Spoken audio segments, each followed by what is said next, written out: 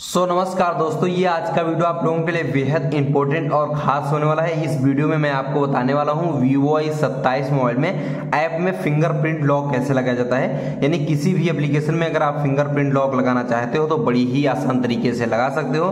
तो कैसे आप लगाओगे? चलिए मैं आपको बता देता हूँ। इसके लिए आप अपने मोबाइल की सेटिंग ओपन करेंगे।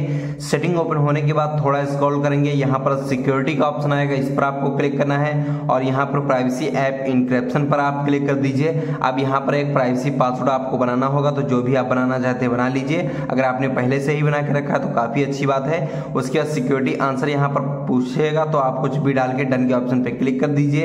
ऐप इंक्रिप्शन पर आपको क्लिक करना है और यहाँ पर ऐप आपको दिख जाएँगे। तो जिस ऐप में आपको फिंगरप्रिंट लॉक लगाना है, वो ऐप यहाँ से आप सेलेक्ट कर लीजिए। तो मैं इंस्टाग्राम में लगाऊँगा और यहाँ से दोस्तों मैं जो है फेसबुक में लगाऊँगा। तो दो एप्लीकेशन में फिंगरप्रिंट लॉक में लगाऊँगा। तो बैक आपको आ जाना है। एक बार और बैक आ जाएँगे। और यहाँ पर फिंगरप्रिंट का ऑप्शन आएगा। इस पर आपको क्लिक करना है।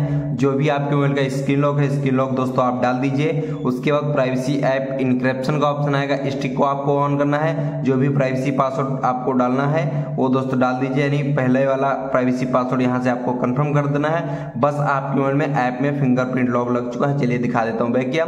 बैक करने के बाद इंस्टाग्राम में लगाया था। तो ये रहा इंस्टाग्राम इंस्टाग्राम पर मैंने क्लिक किया। अब यहाँ पर देखिए फिंगरप्रिंट मांग रहा है। और जैसे मैं फिंगर टच करूँगा, तुरंत इंस्टाग्राम ओपन हो जाएगा। तो इस प्रकार से आप किसी भी ऐप में फिंगरप्रिंट लॉक लगा सकते हो।